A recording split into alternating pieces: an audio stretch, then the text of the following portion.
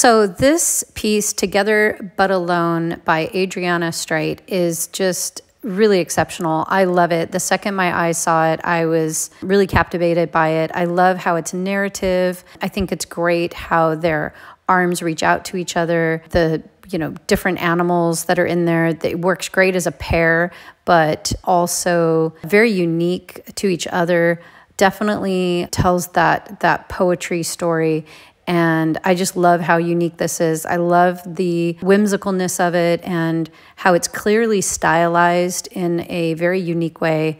And I think they'll just make you keep thinking. You just you look at them, you kind of make a story, and it it makes me keep thinking about it and provokes a lot of questions. So great job.